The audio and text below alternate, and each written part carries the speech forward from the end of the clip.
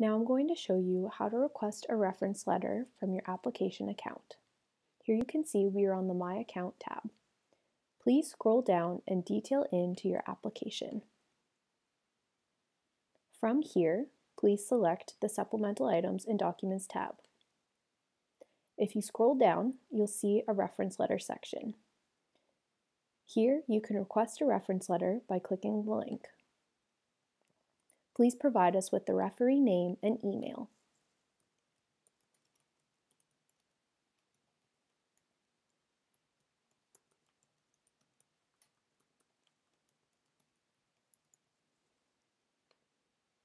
If you wish, you can also provide a personal note to the referee. When you are done, please click Submit Request. If you scroll back down to the reference letter section, you can view all the reference letters that you have sent out requests for. You can see their name, the status, the date it was sent, and you can also cancel it if you wish.